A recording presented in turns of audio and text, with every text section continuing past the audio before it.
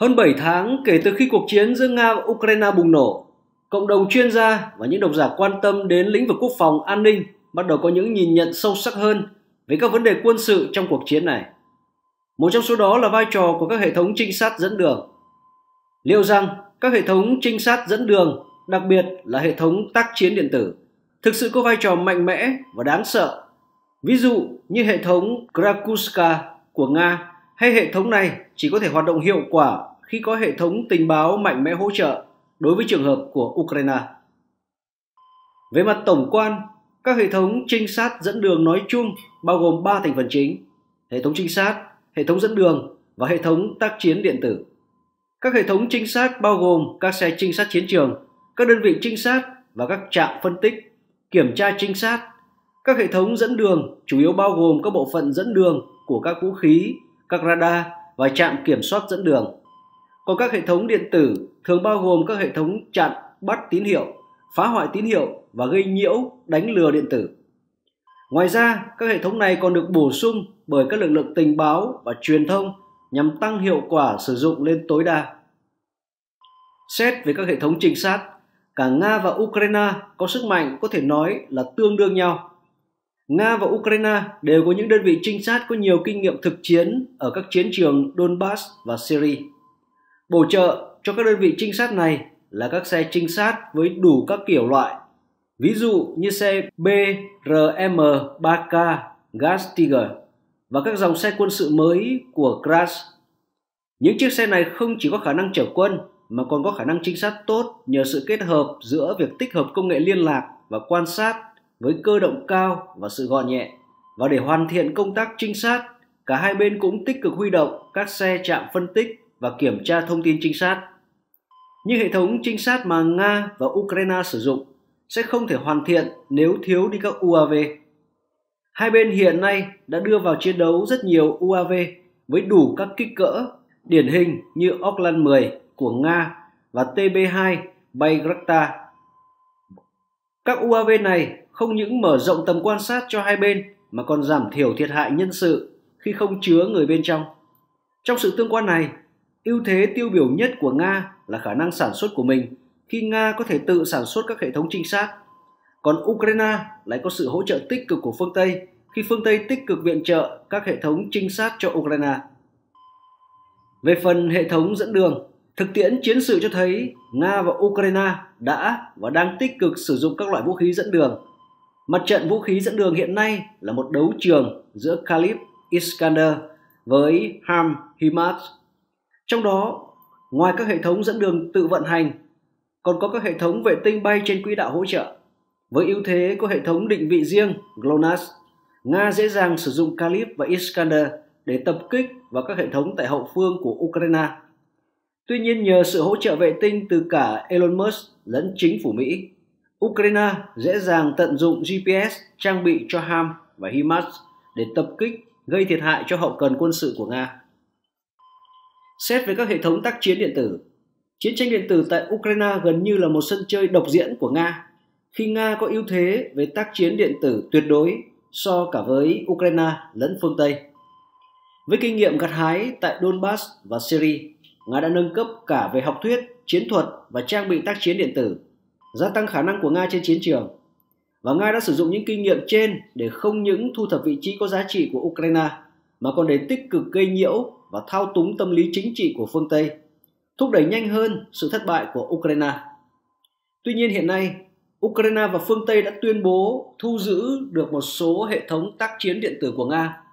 Điều này sẽ gây nên các khó khăn cho Nga khi phương Tây có thể tìm ra cách đối phó thông qua việc phân tích các công nghệ có trong các hệ thống này. Khi nói đến cuộc chiến tình báo giữa Nga và Ukraine và NATO, đây là một chiến trường rất thú vị và gay cấn. Các tình báo của cả Nga và Mỹ, Anh, Pháp đều là những lực lượng tình báo giàu kinh nghiệm, kỹ thuật và nhân lực. Vì thế cuộc chiến hiện nay đang có một đấu trường quyết liệt và đầy khó khăn cho cả hai bên.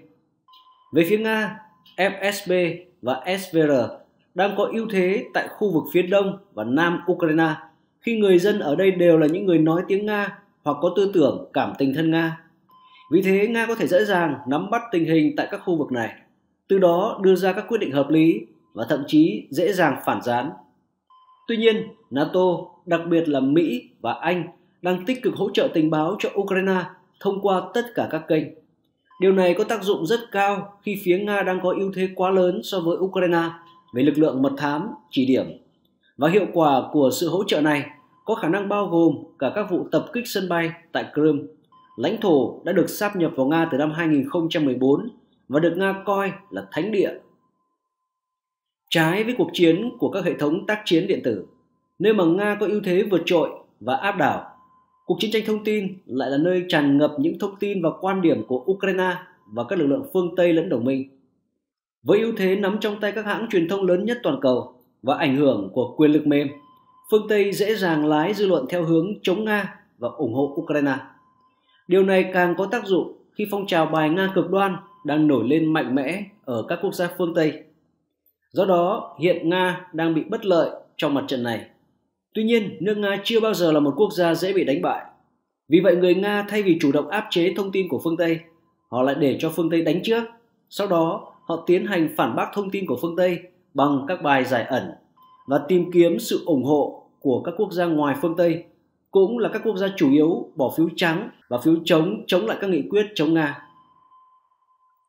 Trong cuộc chiến giữa Nga và Ukraine, việc dẫn đường cho vũ khí tuy diễn ra rất phổ biến về cường độ sử dụng, nhưng các loại vũ khí có điều khiển được sử dụng lại rất hạn chế.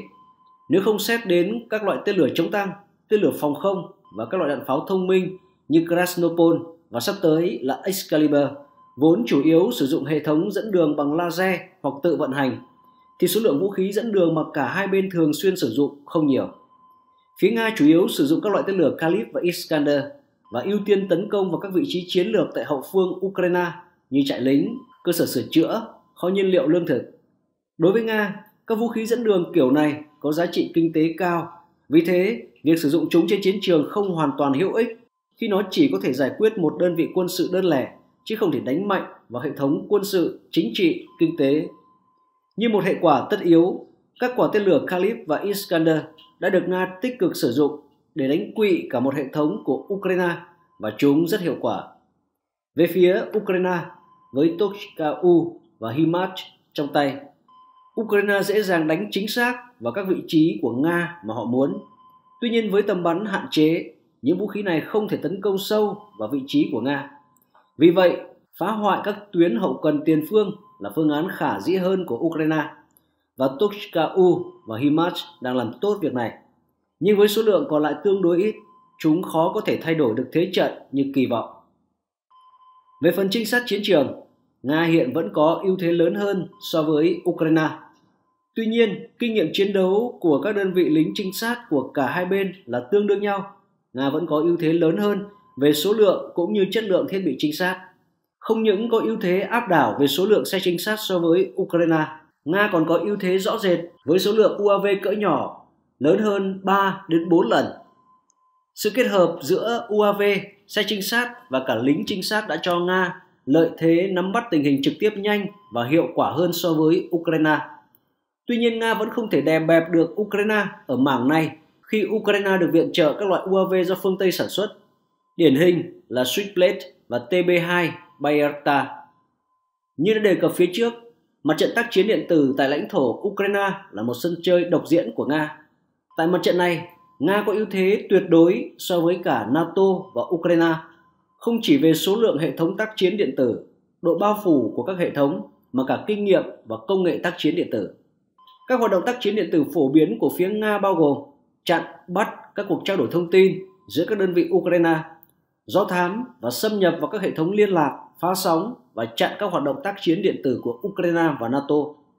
Với các hệ thống Kraskuska, Lia và Murmansk BN trong tay, Nga đủ khả năng thiết lập một vùng chết điện tử rộng lớn, nơi mọi tín hiệu đều bị nắm bắt tại khu vực Donbass.